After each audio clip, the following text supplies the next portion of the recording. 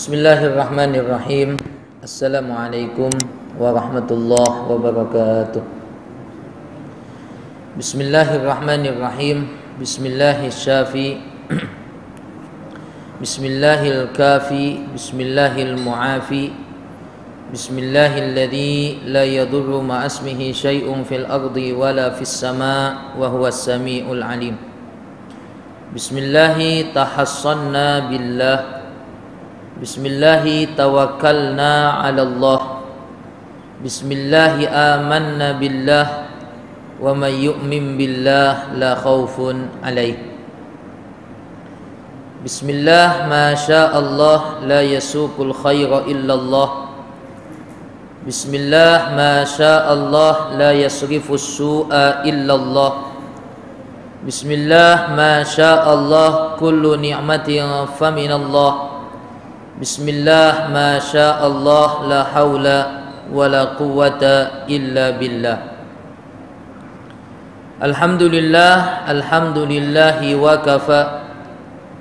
Wassalatu wassalamu ala sayyidina Muhammadinil Mustafa. Wa ala alihi wa ashabihi ahli sidqi wal wafa. Amma ba'd Subhanaka la ilma lana illa ma 'allamtana innaka antal alimul hakim wala haula wala quwwata illa billahil aliyyil azim. Rabbi shrah li sadri wa yassir li amri wahlul 'uqdatam min lisani yafqahu qawli. Ya fattahu ya alim ya fattahu ya hakim ya fattahu ya mubin Allahumma ja'al jam'ana hadha jam'an mubarakan marhuma. Ya Allah jadikanlah perhimpunan kami perhimpunan yang diberkati lagi dirahmati. Amin. Wa tafarruqana min ba'dihi tafarruqan ma'suma dan jadikanlah ya Allah perpisahan kami pula selepas majlis ini sebagai perpisahan yang mendapatkan keampunan daripadamu Allahumma barik lana fi ma baqiya min syahri Ramadan. Ya Allah berkatilah bagi kami pada hari-hari yang berbaki daripada bulan Ramadan. Warzuqna lailatal qadri. Kurniakanlah kepada kami ya Allah malam al-qadar. Fi hadhihi sanah wa fi kulli sanah pada tahun ini dan juga pada tahun-tahun yang akan datang. Rabbi yassir wa la tu'assir. Ya Allah permudahkan jangan engkau persusahkan. Rabbi tamim lana bil khair. Ya Allah sempurnakanlah kebaikan kepada kami. Wa sallallahu wasallam ala sayyidina Muhammad walhamdulillahi rabbil alamin. Allah yang berbahagia yang saya muliakan al-fadil tuan pengursi tuan-tuan imam para asatizah tuan-tuan guru dan seluruh ahli jawatan kuasa masjid. Muslimin muslimat tuan-tuan puan-puan ahli jemaah salat maghrib ahli majelis ilmu yang sama-sama mengharapkan keridhaan Allah. Antara nikmat yang terbesar yang Allah Subhanahu wa taala kurniakan kepada kita saat ini. Alhamdulillah Allah kurniakan kepada kita nikmat sehat dan nikmat afiat nikmat umur yang panjang yang alhamdulillah diiringi dengan hidayah dan taufik daripada Allah untuk kita menggunakan umur tersebut untuk mendekatkan diri kepada Allah Subhanahu wa taala. Di sana ada golongan yang mereka diberikan nikmat yang sama seperti kita yaitu nikmat umur, nikmat peluang hidup, nikmat kesehatan dan keamanan. Tapi Allah tak bagi taufik kepada mereka. Sehingga semakin panjang umurnya semakin jauh daripada Allah. Semakin panjang umurnya jauh daripada rumah-rumah Allah. Semakin panjang umurnya justru semakin banyak maksiat yang dia buat. Semakin panjang umurnya semakin banyak perkara-perkara dosa yang dilakukan sehingga umurnya yang panjang yang Allah bagi justru itu akan menjadi malapetaka baginya. Akan menjadi musibah baginya. Akan menjadi kebinasaan baginya. Nabi katakan di dalam hadis ya wailun celakalah. Binasalah. Siapa yang celaka dan binasa? Nabi katakan man tola umruhu wasa'a amalu. Celakalah seseorang yang tola umruhu panjang umurnya. Ya seorang yang panjang umurnya wasa'a amalu. Tetapi buruk amal perbuatannya. Disebut oleh baginda Nabi sebagai orang yang celaka. Atau kecelakaan bagi seseorang yang Allah bagi umur panjang bagi peluang hidup tapi tak diberikan taufik oleh Allah Subhanahu wa taala. Ya, maka kita berdoa kepada Allah Subhanahu wa taala. Mudah-mudahan sebagaimana Allah kurniakan kepada kita umur yang panjang, Allah kurniakan kepada kita peluang hidup, maka mudah-mudahan Allah sentiasa mengurniakan kepada kita semua taufik untuk kita menggunakan umur tadi dalam taat ibadah kepada Allah. Karena orang yang panjang umurnya, yang bagus amal perbuatannya semakin panjang umurnya semakin cinta masjid semakin panjang umurnya semakin dekat dengan masjid semakin panjang umurnya semakin dekat dengan ilmu dengan ulama dengan majlis-majlis ilmu. Semakin panjang umurnya semakin banyak peluang untuk dia melakukan ibadah kepada Allah Subhanahu wa taala yang akan menjadi bekalan baginya untuk kembali kepada Allah Subhanahu wa taala. Maka Nabi sallallahu alaihi wasallam sebut orang yang panjang umur dan diberi nikmat taufik itulah orang yang berjaya. Itulah orang yang beruntung. Nabi katakan tuba beruntunglah. Berjayalah sukseslah siapa? Man tola umruhu wa hasuna amalu. Seseorang yang bagus ya seorang yang tola umruhu panjang umurnya wa hasuna amalu. Dan bagus pula amal perbuatannya. Mudah-mudahan ya dua nikmat ini Allah kekalkan dalam diri kita. Panjang umurnya yang pertama dan nikmat taufiknya yang kedua. Mudah-mudahan bukan hanya istiqomah kita di bulan Ramadan dengan puasanya tapi mudah-mudahan kita juga diberi taufik oleh Allah untuk melaksanakan puasa-puasa yang sunnah di luar bulan Ramadan. Wabil khusus yang utama yang pertama sekali di bulan Syawal nanti mudah-mudahan kita azam dari sekarang tuan-tuan. Bulan Syawal nanti insya Allah kita melaksanakan solat melaksanakan puasa 6 Nabi Shallallahu Alaihi Wasallam katakan man soma Ramadan. Ini kelebihan berkenaan tentang puasa 6 di bulan Syawal. Nabi kata man soma Ramadan. Siapa yang berpuasa pada bulan Ramadan? Thumma atba'ahu sitan min Syawal. Kemudian selepas bulan Ramadan diiringi pula dengan puasa sunnah yaitu enam hari daripada bulan Syawal. Maka Nabi katakan kana kasyamid dahr. Maka pahalanya uh, pahalanya itu sama dengan puasa sepanjang tahun puasa Ramadan tambah puasa enam di bulan Syawal pahalanya sama dengan puasa sepanjang tahun. Ya kita tak mampu nak puasa sepanjang tahun tuan-tuan. Ya kita tak mampu nak puasa jangankan puasa tiap-tiap sampai satu tahun penuh. Nak puasa seperti puasa Nabi Daud pun tak mampu. Hari ini puasa esok berbuka lusa berpuasa lagi dan seterusnya. Satu hari berbuka satu hari berpuasa. Tak mampu kita nak buat jangankan yang itu puasa Isnin dan Khamis pun kita tak mampu. Puasa tiga hari dari tiap-tiap tiap bulan pun kita mungkin tak mampu. Maka tuan-tuan uh, supaya Allah bagi kekuatan dan untuk mendapatkan pahala yang besar maka azam insya Allah di bulan syawal kita puasa enam. Nabi katakan tadi sama pahalanya seperti puasa satu tahun. Ulama kita terangkan atau rungkaikan kenapa puasa Ramadan yang diiringi dengan puasa syawal dapat pahala satu tahun penuh karena Nabi ya karena dalam ayat Al-Quran Allah katakan manja bil hasanati falahu asyru amthaliha. Siapa buat satu kebaikan maka Allah akan bagi pahala 10 kali ganda. Maknanya apa? Puasa kita satu bulan bulan Ramadan. 30 hari kita berpuasa di bulan Ramadan itu sama pahalanya dengan 300 hari manakala 6 hari daripada bulan Syawal yang kita berpuasa itu sama dengan pahala 60 hari. 30 300 dengan 60 sama dengan 360 Ha, maknanya dari situ kita baru faham kenapa pahala Ramadan, puasa Ramadan dan Syawal enam hari pahalanya satu tahun penuh. Karena tadi satu kebaikan sepuluh kali ganda di sisi Allah Subhanahu wa taala. Baik, mudah-mudahan azam itu azam yang pertama kita tuan-tuan. Mudah-mudahan Allah istiqomahkan kita. Apa amalan yang di bulan Ramadan kita buat? Kita coba untuk istiqomahkannya di bulan yang lain.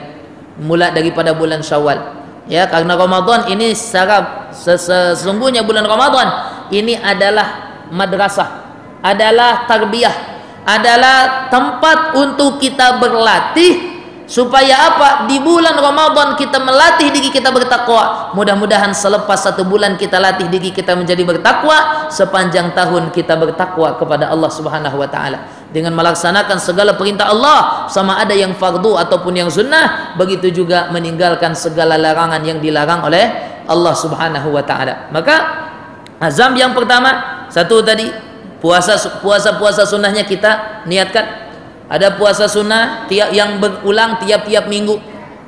Yang berulang tiap-tiap minggu yaitu puasa hari Isnin dan juga hari Khamis. Ada puasa yang terulang tiap-tiap bulan yaitu yang dikenali dengan Ayyamul Bid dengan Ayyamus Sud. Ah, apa pula Ayyamus Sud? Kalau Ayyamul Bid kita sering dengar. Ayyamul Bid 13, 14, 15 tiap-tiap bulan. Ada dalam kitab fikih disebutkan juga sunnah kita berpuasa pada ayam musud yaitu penghujung bulan 27, 28, 29 dan 30 atau 27, 28 dan 29 tiap-tiap hujung bulan. Nah, itu pun juga disunahkan kita berpuasa. Ada puasa yang berulang, puasa sunnah yang terulang tiap-tiap tahun. Yaitu bermula daripada puasa 6 di bulan Syawal. Kemudian nanti di bulan Dzulqa'dah ada puasa hari Tarwiyah dengan hari Arafah hari Tarwiyah hari ke-8 daripada bulan uh, Hijjah hari Arafah hari ke-9 daripada bulan Hijjah kemudian nanti masuk bulan Muharram ya. Bulan Muharram adalah bulan yang memang sepanjang bulan kita sunnah untuk puasa. Ya kalau tak mampu maka minimum pada apa pada 10 hari pertama bulan Muharram. Tak mampu minimum pada hari yang ke-10-nya yaitu yang disebut dengan hari Ashura kita puasa pada hari tersebut. Pahalanya keampunan dosa sebanyak selama satu tahun. Masya Allah besar pahala yang dijanjikan oleh Allah Subhanahu Wa Taala. Kemudian nanti puasa pada bulan Rajab dan akhir sekali banyakkan puasa pada bulan Syaban untuk kita menyambut kedatangan Ramadan tahun yang akan datang.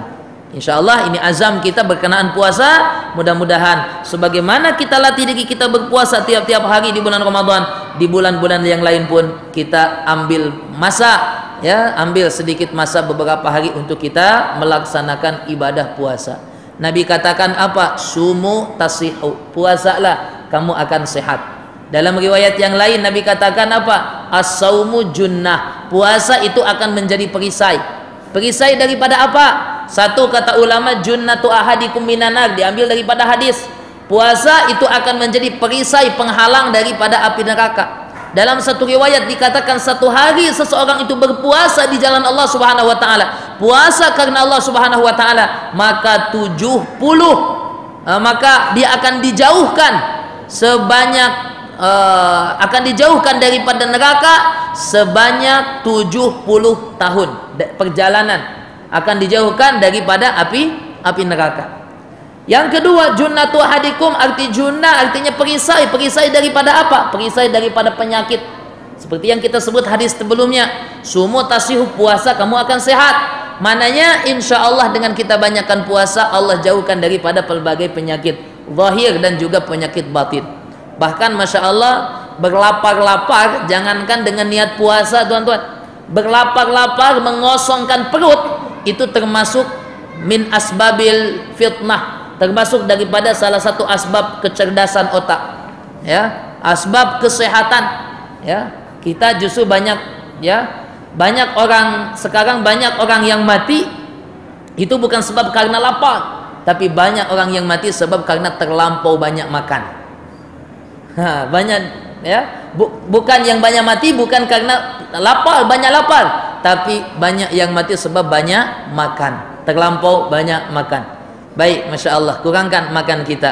Nah, ini mudah-mudahan kita boleh teruskan.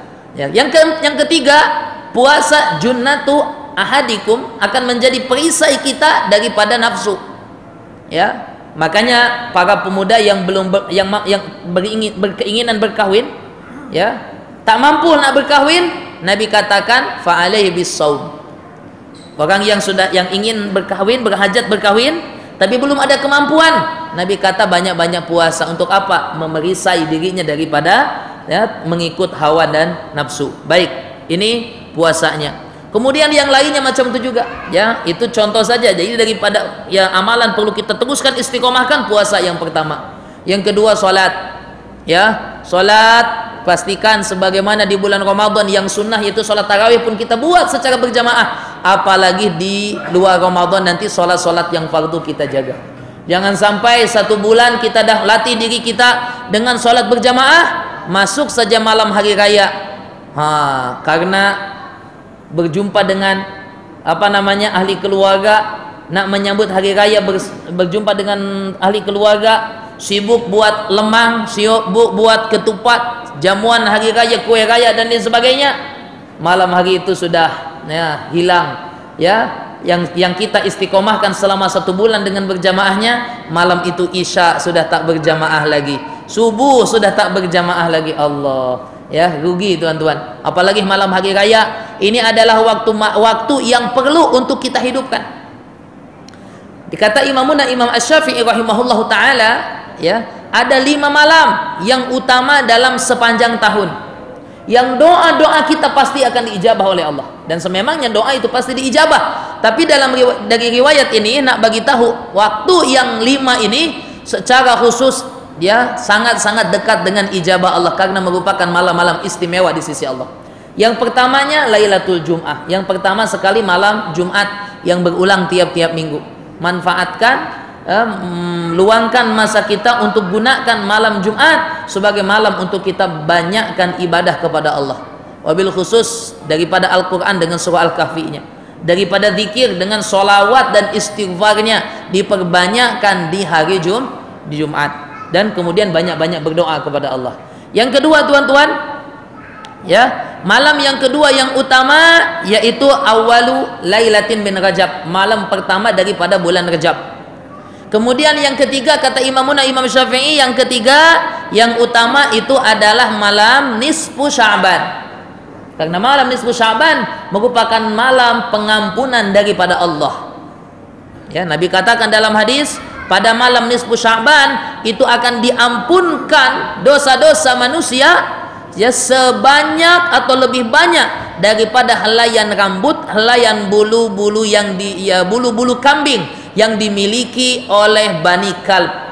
Dikatakan Bani Kalb itu adalah satu suku, satu kabilah yang ada pada zaman baginda Nabi yang paling banyak memiliki kambing. Yang paling banyak memiliki kambing satu ekor kambing pun kita tak boleh kira berapa bulu, berapa helai rambut dan bulu yang dimilikinya. Ini pula sejumlah kambing yang banyak yang dimiliki oleh Bani Kalb. Maksudnya apa? Pada malam nisfu Sya'ban sangat-sangat banyak pengampunan daripada Allah. Sangat-sangat luas ampunan Allah Subhanahu wa taala. Maka pada malam nisfu Sya'ban pun kita hidupkan malam tadi dengan ibadah. Yang keempat dan yang kelima, dua malam hari raya. Hari raya Idul Fitri dan juga hari raya Idul Adha. Dalam riwayat Sayyidina Muaz bin Jabal pula ya, ada perbezaan. Kalau Imam Syafi'i tadi katakan satu malam Jumat, kedua awal Rejab, ketiga malam nisfu Sya'ban, hari raya Idul Fitri, hari raya Idul Adha. Dalam riwayat Imam dalam riwayat hadis riwayat daripada uh, Muaz bin Jabal yang sama uh, malam yaitu yang sama dua malam hari raya Idul Fitri dan Idul Adha Kemudian yang ber, ya, dua hari raya Idul Fitri Idul Adha, kemudian malam nisfu Sya'ban. Yang berbezanya di dalam riwayat itu disebutkan malam tarwiyah yaitu malam ke-8 dari Idul Hijjah, kemudian malam uh, hari Arafah ya dan kemudian yang satu lagi kalau tak silap hari Asyura. Nah, itu perbezaan riwayat daripada Imam Asy-Syafi'i dengan yang disebutkan oleh Muad bin Jabal. Intinya malam hari raya ikut dua riwayat tadi hari raya Idul Fitri, hari raya Idul Adha adalah dua malam yang mulia yang kita digalakkan untuk menghidupkannya dalam dengan ibadah. Nabi Shallallahu Alaihi Wasallam disebutkan menyebutkan hadis ini dinukilkan oleh para ulama menerangkan tentang keutamaan malam keutamaan menghidupkan malam hari raya ya tak salah tuan-tuan siapkan jamuan untuk hari raya pakaian raya dan lain sebagainya. Tapi jangan terlepas, jangan kita sia-siakan malam hari raya sehingga kita lupa beribadah kepada Allah Subhanahu wa taala. Nabi katakan man ahya lailatal id.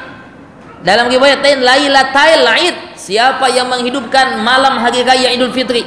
Ada riwayat lain mengatakan siapa yang menghidupkan dua malam hari raya, yaitu hari raya Idul Fitri dan juga hari raya Idul Adha, maka ahyallahu qalbahu yauma tamutul qalb ya maka Allah Subhanahu lam yamut qalbuhu yauma tamutul qalb siapa yang menghidupkan malam hari raya Idul Fitri dan Idul Adha maka hatinya akan dihidupkan oleh Allah hatinya tidak akan mati pada saat hati-hati orang ramai mati ada yang mengartikan makna hadis tadi orang yang menghidupkan malam hari raya pada saat sakaratil mautnya saat itu hati manusia banyak yang lupa kepada Allah, tapi orang yang menghidupkan hari raya akan dihidupkan hatinya. Maksudnya akan dimudahkan mengucapkan la ilaha illallah. Ada yang mengartikan yauma tamutul qalb, hatinya tidak akan mati, hatinya akan hidup. Artinya apa? Hatinya sentiasa cintakan kepada akhirat kecintaannya kepada dunia atau urusannya urusan dunia tak menghalang dia daripada beribadah mempersiapkan bekalan untuk kembali kepada Allah Subhanahu wa taala. Berarti maknanya apa? Siapa hidupkan malam hari raya, insya Allah akan dibimbing oleh Allah sepanjang tahunnya sentiasa istiqomah dalam kebaikan. Paling minimum tuan-tuan pada malam hari raya jangan terlepas sholat isya dan sholat subuhnya berjamaah Kata Abdullah bin Abbas radhiyallahu an, ya, siapa yang ingin mendapatkan pahala menghidupkan sepanjang malam-malam Idul Fitri, nak dapatkan pahala menghidupkan malam Idul Fitri sepanjang malam, maka fa'alaihi hendaklah dia laksanakan sholat subuh dan isya berjamaah. Karena Nabi Shallallahu Alaihi Wasallam mengatakan siapa sholat isya berjamaah pahalanya sama melaksanakan sholat sunnah separuh malam. Siapa yang melaksanakan sholat subuh berjamaah maka dia akan mendapatkan pahala sholat sunnah sepanjang sepanjang malam. Ini paling minimum. Ya, kenapa kita sebutkan? Karena mungkin bulan Ramadan kita bangun subuh karena bersahur. Kita datang sholat isya karena sekali sholat taraweh. Tapi malam hari raya, ha, kita akhirnya terlepas daripada melakukan amalan tersebut. Mudah-mudahan malam hari raya itu adalah malam pembuktian keistiqomahan kita. Malam pembuktian berhasil tak kita men menjadi la'allakum tattaqun? Berhasil tak kita mendapat hikmah puasa yaitu menjadi kita bertakwa kepada Allah? Ya kita tengok mampu tak kita menjaga malam pertama daripada bulan Syawal untuk kita ibadah kepada Allah wabil khusus solat Isya dan solat subuhnya berjamaah mudah-mudahan Allah bagi kekuatan kepada kita untuk istiqomah dalam segala amal ibadah sampai ke penghujung hayat kita insya-Allah. Tuan-tuan, puan-puan, muslimin muslimat yang sama-sama mengharapkan keridhaan Allah. Malam hari ini malam ke-29 daripada bulan Ramadan, malam ganjil terakhir daripada bulan daripada bulan Ramadan yang Nabi katakan pada malam-malam yang ganjil ini terdapat Lailatul Qadar kita pun tak tahu adakah Lailatul Qadar sudah lepas ataukah malam ini. Tapi tak salah insya Allah kita berharap tuan-tuan kalau sekiranya malam ini Lailatul Qadar mudah-mudahan kita mendapatkan kebaikan keberkatan daripada malam Lailatul Qadar insya Allah. Maka tuan-tuan yang pertama sekali tuan-tuan yang datang yang sudah datang dari tadi atau yang baru datang pastikan jangan terlepas niat i'tikaf. Jangan terlepas niat i'tikaf. Malam hari ini tuan-tuan beriktikaf, kalau sekiranya malam ini malam Lailatul Qadar, tuan niat i'tikaf, Allah akan bagi pahala sama dengan seribu bulan atau 83 tahun sekian kita beriktikaf. Masya Allah ya. Yang belum niat sila ambil masa untuk berniat ya niat untuk beriktikaf nawaitul i'tikaf fi hadal masjid taqarruban atau sunnatan lillahi taala Masya Allah itu yang pertama yang kedua tuan-tuan, kita sama-sama membaca surah Al-Ikhlas insya Allah sebanyak tiga kali. Yang kita berharap kalau sekiranya malam ini Lailatul Qadar, Allah akan berikan pahala kepada kita mengkhatamkan Al-Quran selama seribu bulan. Karena Kul huwallahu ahad kata baginda Nabi ta'dilu thuluth Al-Quran. Qul huwallahu ahad itu pahalanya sama dengan membaca sepertiga Al-Qur'an. Tiga kali kita baca, insya Allah dapat pahala menghatamkan Al Al-Quran. Mari insya Allah kita sama-sama membaca surah tersebut. Mudah-mudahan sekali lagi kalau malam ini Lailatul Qadar Allah bagi pahala kepada kita membaca Al-Quran ya selama seribu bulan insya Allah. Kayak kita sama-sama membaca. Bismillahirrahmanirrahim. Qul huwallahu ahad. Allahus samad. Lam yalid wa lam yulad wa lam yakul lahu kufuwan ahad. Bismillahirrahmanirrahim. Qul huwallahu ahad. Allahus samad. Lam yalid wa lam yulad wa lam yakul lahu kufuwan ahad.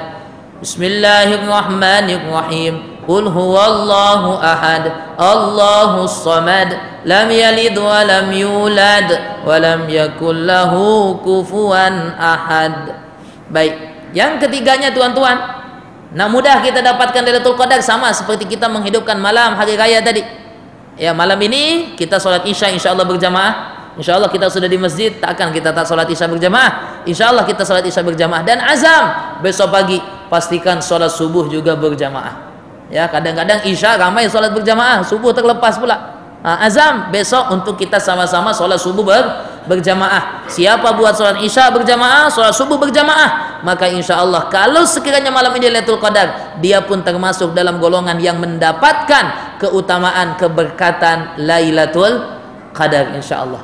Kemudian tuan-tuan, malam hari ini ya jangan terlepas daripada buat infak. Ini peluang terakhir daripada bulan Ramadan. Peluang terakhir hari ganjil malam ganjil daripada malam Ramadan. Yang kita, seperti kita sebut sekiranya malam ini malam Lailatul Qadar infak kita yang satu ringgit yang lima ringgit yang lima puluh ringgit yang lebih atau kurang daripada itu infak kita kalau malam hari ini Lailatul Qadar. Allah bagi pahala infak selama seribu seribu bulan ya Masya Allah besar pahala yang akan diberikan oleh Allah subhanahu wa taala. Mudah-mudahan tahun ini kita mendapatkan keberkatan Ramadan seperti dalam doa munajat dalam mukadimah tadi. Mudah-mudahan Allah kurniakan kepada kita Lailatul Qadar pada Ramadan tahun ini dan juga Allah kurniakan kepada kita Lailatul Qadar pada tiap-tiap tahun yang akan datang insya Allah. Baik, tuan-tuan, puan-puan, muslimin, muslimat yang sama-sama mengharapkan keridhaan Allah. Ingin saya juga sebutkan di sini sebelum mengakhiri majelis ini, ya malam Ramadan dengan puasanya Ramadan dengan uh, qiyamul lailnya dengan salat tarawihnya dan juga dengan malam Lailatul Qadarnya merupakan masa waktu dan juga amalan yang di dalamnya merupakan perkara-perkara yang dengannya kita akan mendapatkan pengampunan daripada Allah. Ramadan bulan maghfirah. Puasa dan salat tarawih Nabi katakan siapa buat puasa dan tarawih dan sholat malamnya itu taraweh maka Allah akan bagi pahala maka Allah akan ampunkan dosa-dosanya. Bila berakhir Ramadan orang yang puasa sempurna tarawihnya sempurna maka berakhir Ramadan masuk Syawal maka dia akan terlucut daripada dosa-dosanya seperti mana pada saat dia dilahirkan oleh maknya. Diampunkan dosa-dosanya oleh Allah. Begitu juga Lailatul Qadar. Bahkan pada malam Lailatul Qadar amalan yang kita hafal bersama amalan yang utama pada malam Lailatul Qadar mohon keampunan daripada Allah. Membaca Allahumma innaka afuwun tuhibbul afwa fa'fu anni. Ya Allah engkau maha pengampun. Engkau suka kepada keampunan maka ampunilah aku ya Allah. Ya. Masya Allah jadi jelas Ramadannya amalan pada uh, Lailatul Qadarnya amalan pada bulan Ramadan semua ya itu apa namanya menjadi amalan-amalan yang dengannya kita akan mendapatkan pengampunan daripada Allah tapi macam mana? Nabi ada kata dalam hadis yang lain, Nabi kata orang yang celaka, orang yang jumpa Ramadan tapi tak dapat keampunan Allah. Orang yang celaka, orang yang jumpa Ramadan tapi tak dapat pengampunan Allah.